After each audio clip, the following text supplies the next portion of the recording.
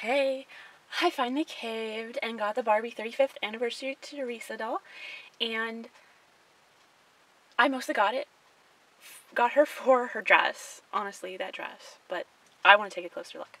So, let me get her out.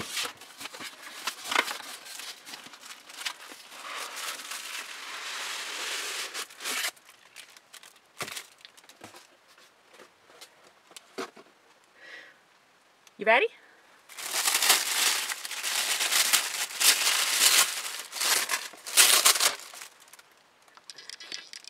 So what do you guys think?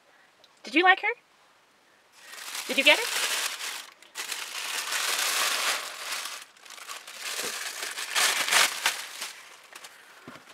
I still am not sure myself. I am still not sure myself, but this dress is gorgeous. I love her yellow dress. And yes, I will be taking her out of box because, like I said, I pretty much wanted that dress. And guess that's what I've been buying a lot of these dolls for lately is their clothes because they're well designed. But for me personally, I love their clothes. So, let me show you the front. And this box is gorgeous color. It's got a little bit of a leaf on the front here and here. And like a little bit, I think it's palm. Yep, here we go. So palm leaves and trees. So here's what she's supposed to be based on. I think they did a great great job. There's a lot more yellow and I love their dress that they made for her either way and I think they did a nice update on the face and uh, I'm gonna get her out of the box now so I'll be back then. Okay, so I got her out of the box and I thought maybe you might like to see her without any glare. And so her face is a very pretty face. I really don't know the face sculpt offhand. I'll have to look it up and I'll add it in here. I'll add it in. Um, um, she has cute little palm tree earrings and her gold purse actually has palm trees on it. It's really cool. But yeah, she's really cool and I really like this dress. She does come with a stand and certificate. So I'm going to finish getting her out of the box and I'll show you some skin tone matches in case you actually want to rebody her. I'll be back. Alright, so I have her out of box. She's got this beautiful ring here, and you can see her palm tree earrings, and they are removable, which is awesome. And she has two gold bangles, and her dress is very nice. Um, it is like a, um, what's that material called? I'm not great with materials, but it is um, cinched at the edges for um, to inhibit the, the fraying and to just um, keep the bulk down so it looks nicer. And uh, she has like a side, a low side ponytail and there's some gel in there. And it is nice and long in the back with that high-low hem. Now, her one shoe here in the front is kind of like um, not fitting the greatest. I bet this will fit my uh, model, the Model Muse shoes will fit the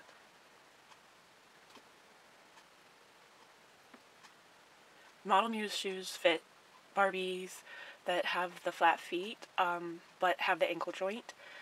So these will fit probably better on the made to move dolls.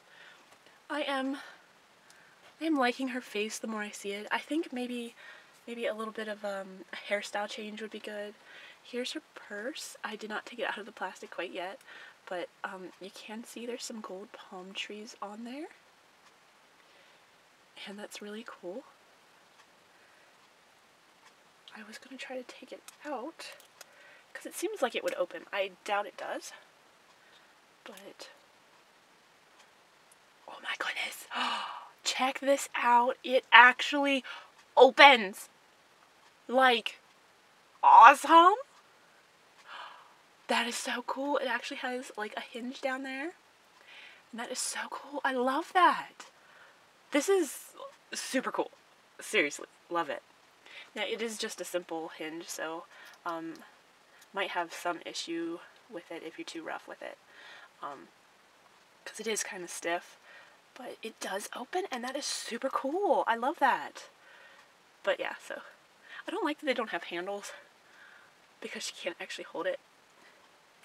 But yeah.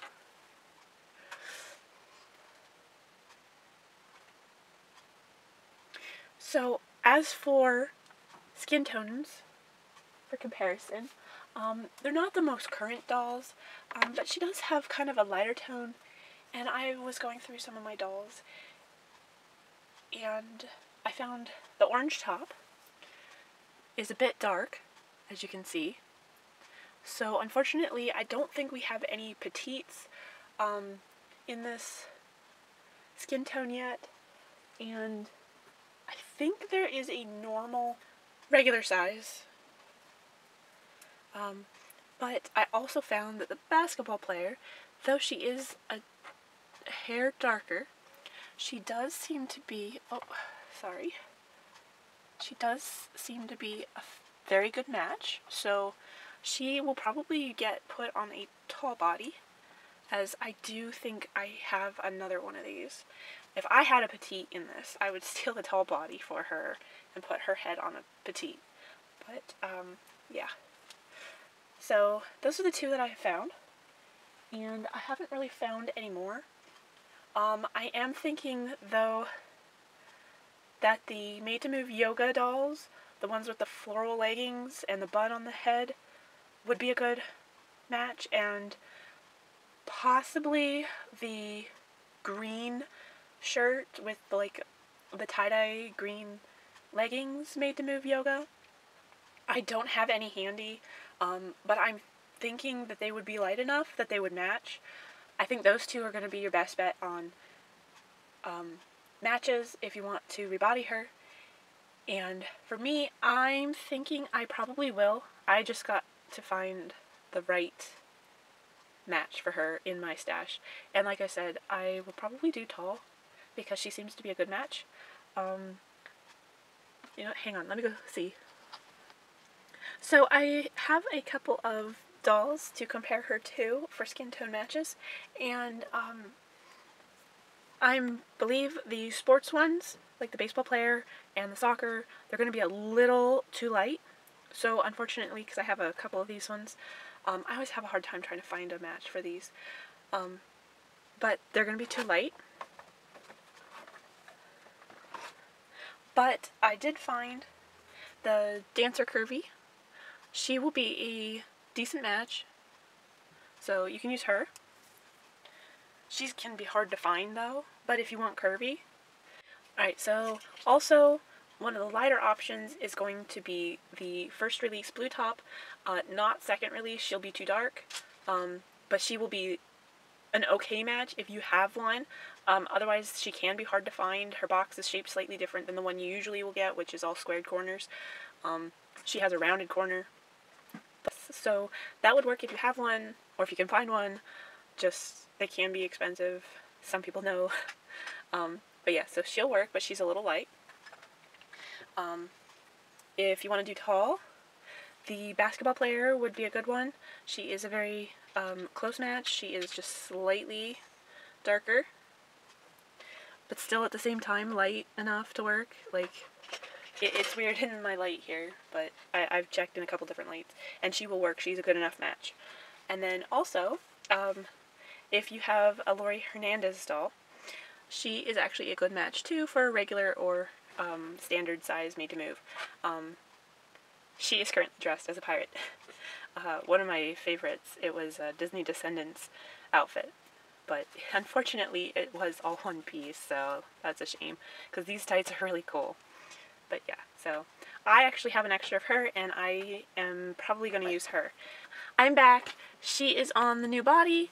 Now she has 22 points of articulation and she's standard size. She will be able to fit clothes, including her dress, which um, the inside looks really good. It's well stitched, tagged, and it was knotted behind her neck and she was sewn in, so just be careful of that. And uh, yeah, it, it's pretty well done. There are like a couple threads here at the back where um, she was sewn in, but that's, that's about it. And she will look great in it again. Um, but yeah, so now there was a couple of pieces of double-sided stick tape, and as you can see, she is on the Model Muse body. So, but yeah, so she is now articulated, and she'll be ready to add to my collection. And we'll see if she wears her dress. Alright, thank you for watching. Like and subscribe. Bye!